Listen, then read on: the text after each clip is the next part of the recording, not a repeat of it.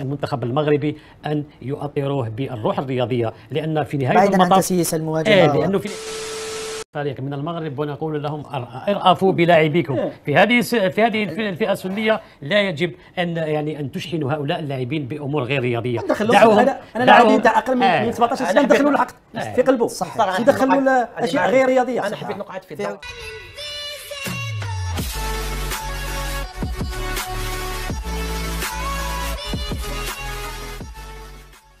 السلام عليكم خوتي المغاربة مرحبا بكم في فيديو جديد وحلقة جديدة اللي غادي نشوفوا فيها الإعلام الجزائري على واحد القناة جزائريه كيهضروا على المقابلة اللي دارت ما بين المنتخب الجزائري والمنتخب المغربي. وكل شيء بينا شفنا خوتي العزاز المقطع نتاع الفيديو اللي اللعابه نتاع الجزائريين كيضربوا الحارس ديال المنتخب المغربي وزيد الجمهور اللي نزل للتيران وزيد الأمن ما تدخلش وهاد المحللين الجزائريين كيقول لك بأن المغاربة هما اللي جبدوا الصداع مع الجزائريين. والله ما كيحشموا. اقسم لكم بالله ما كتحشموا بالله. وكيزيدوا كيعطيونا النصائح وكيقول لك بأن خاص الاطر المغربية تحاول باش تهضر مع هاد الوليدات الصغار وهادو راه مازالين صغار وما يدخلوش ما يدخلوش السياسة في الرياضة. المهم كيعطيونا النصائح. هاد اشراف عقل ولا هما اللي كيعطيونا النصائح؟ العزاز غادي نمشيو نشوفوا الحلقة وماذا بكم تفعلوا مع هذا الفيديو بشكل كبير. الناس اللي مازال ما اشتركش معنا مرحبا بكم. خوتي العزاز اشتركوا وفعلوا الجرس بغيت هذا الفيديو يدير اللايك باش يشوفوا بزاف ديال المغاربة باش يشوفوا هذا الإعلام تاع الجزائر اش كيقول على هذه المقابلة اللي دارت ما بين المغرب والجزائر. يلا نشوفوا الفيديو ونتلاقاو في النهاية. هي أحداث غير رياضية لا نريد مشاهدتها خاصة في الفئه في هذه الفئة العمرية لكن لا يجب رمي التهمه على شخص وهو لم يفعل الأمر. يعني تابعنا في الفيديو الذي سيمنحنا المخرج بعد قليل كيفية تعامل اللاعبين المغاربة مع هذه المواجهة وما الذي فعله اللاعب تجاه حارس المنتخب الوطني؟ شيء مؤسف شيء مؤسف ونحن نشاهد هذه اللقطات. في مباراة بهذه يعني لهذه الفئة السنية. لذلك يجب ان يجب ان لا نخرج من الإطار. العرس الذي الذي نظمناه والعرس الذي كنا يعني كان فيه المنتخب الوطني الجزائري هو العريس. اليوم المنتخب الوطني الجزائري لأقل من 17 سنة هو بطل العرب بكل جدارة واستحقاق. لذلك علينا أن نركز في حديثنا على هذا الفوز ولا هذه الفرحة ولا هذا العرس ولا نتوقف عند السلبيات التي قد يريد يعني المنافس أن أن يقودنا يعني لإخراجنا من من من قوقعة الفوز والانتصار والفرحة. شيء مؤسف. أي نعم.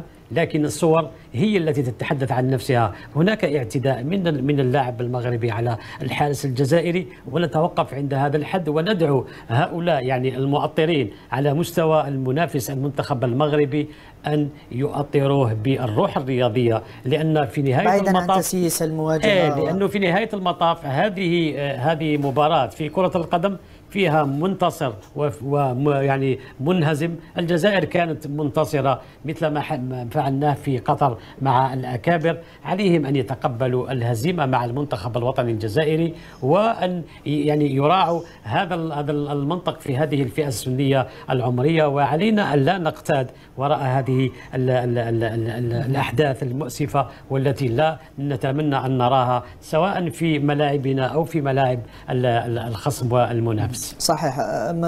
نصر بويش صحيح أنه بعض الجماهير الجزائرية دخلت إلى الميدان لكن بصدد الاحتفال مع اللاعبين بهذا التتويج هو فعل يعني غير غير قانوني بالنسبة للناحية القانونية في كرة القدم لكن ما حدث أمر مؤسف أليس كذلك؟ حقيقة أمر مؤسف لأن إحنا كما قال فريد نقول لخص كل شيء.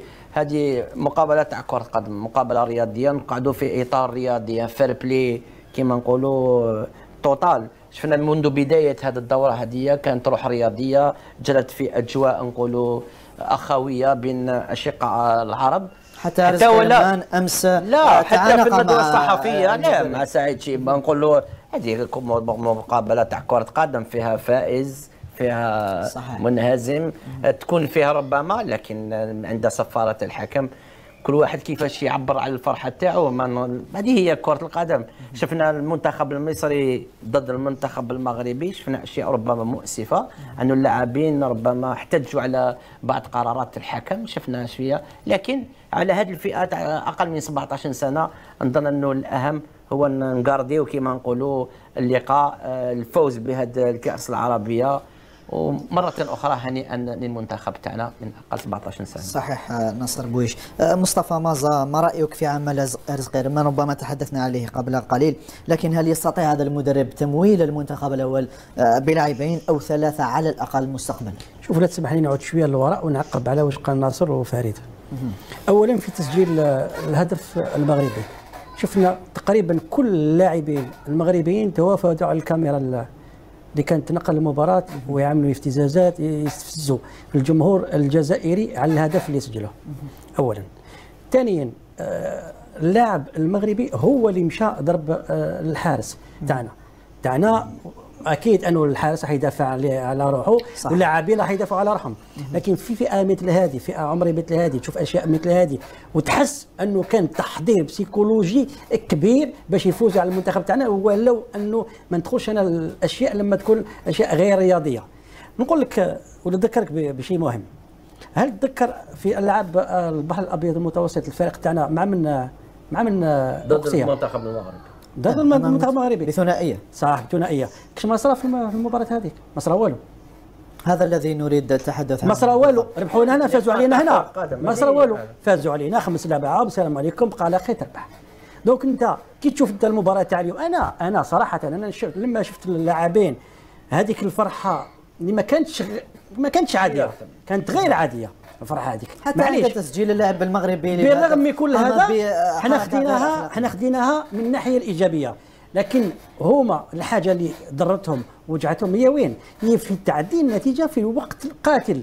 وما هذيك هي الحاجة. الفوز بركات الفوز بلا كرة الترجيح. وهذه تحس باللي أنه الفريق كان غونفلي ابلوك كما يقولوا. باش يفوز بالمباراة باش يفوز على المنتخب الجزائري لأنه كاين أشياء غير رياضية وحساسية كبيرة ما بين المنتخبين. وأنا أنا دائما نبحث نبقى في الجانب الرياضي. اليوم الجزائر فازت على المنتخب المغربي. ماذا فعل لاعب المنتخب المغربي. يعني رغم صغر. السن لكن حقيقة قال- ربما أسمعني معك عماد ربما حنايا ما نتصوروش أن في هذا السن هذايا انه اللاعب يقوم بأشياء مثل هذه حقيقة لكن حنايا ناصر عندك عندك أنت مدربين موراك علاش اللاعبين تاعنا ما داروهاش قل لي على اللاعبين تاعنا ما داروهاش على لما لا، عدلوا سيكولوجي، نتيجة مصطفى. نهائية. صحيح. يتحدث عن أمر ربما ذهنيا ذهنيا كما قلت. أنت. يسون بريباري اشياء مثل هذه لكن آه. لكن الأهم هو انني قلت لك مصطفى انه الأهم واش الخلاصة انه كان فيه لقاء نهائي الفريق الجزائري عاد من بعيد وفاز بركلات الترجيح يعطيك الصحة يجب أن نتوقف عند هذه الجملة خلاص. ما قام. به ما قام به اللاعب المغربي يريد أن يجر الحديث في البلاطوهات وفي الصحافة الجزائرية إلى ما نتناقش عليه الآن هذا- علينا أن. آه، علينا أن نبقى في المنتخب الوطني الجزائري فاز على المنتخب المغربي عاد من المنتخب بعيد، الوطني عاد من الجزائري بعيد. عاد من بعيد المنتخب الوطني الجزائري لأول مرة يرفع كأس في دورة شبه رسمية اللي هي كأس العرب ويسير على خطى الكبار ونقول ألف مبروك وذلك الشبل من ذلك الأسد ونتوقف عندها هذا عند هذه. اولا لو نعودوا إلى آه، تاريخ هذه الدورة هذه كانت السعودية اللي فازت بأول نسخة في 2000 2011 ثم آه، هذه النسخة الرابعة لهذا ثم ثم آه، فازت بها أعتقد تونس ثم العراق واليوم الجزائر يعني في الدورة الرابعة. تشوف أنه آه، اليوم فيه نظرة أخرى آه، للمنتخبات على المستوى العربي. يعني آه، دائما راك تلاقى بها المنتخبات. مش ممكن أنه في الدورة القادمة ما راكش راح تشوف المغرب. اولا في كأس الشان. كأس الشان المنتخب المغربي راح يكون حاضر في الجزائر. يعني كيفاش راك تصور؟ لو نفس نفس هذا الفارق أكيد أكيد. بس مصطفى لهذا كما يقول فإحنا نحبسوا هنا. لأنه ما نمشيوش لا لاشياء أنا أخرى. نقول لك يعني ناصر ناصر أنا نقول لك اسمع أنا رايحين نزيدوا نتلاقاو بهم يعني كيفاش تكون ردة فعل؟ علاش انتوما هو لا يتحدث عن اللاعبين ويتحدث عن المسؤولين المسؤولين. يتكلم ولا عن يتحدث اللاعبين. عن اللاعبين. اليوم اليوم ناصر هذا 17 لقاء. رياضي يا ناصر، ناصر، حنا- لازم يكون واعي. صحيح، هذا الذي عنه. نهزم هنا؟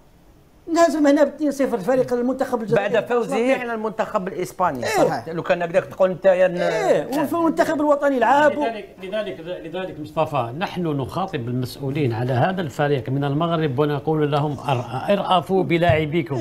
في هذه الس- في هذه الف- الفئة السنية لا يجب ان يعني أن تشحنوا هؤلاء اللاعبين بأمور غير رياضية. ندخلوا أنا أنا لاعبين تاع أقل من, آه. من 17 أنا سنه الحق آه. في قلبه. ندخلوا نقعد- أنا أشياء. غير رياضية أنا حبيت نقعد في في الدورة. عجالة لأنه الوقت في عجالة. في- في الدورة.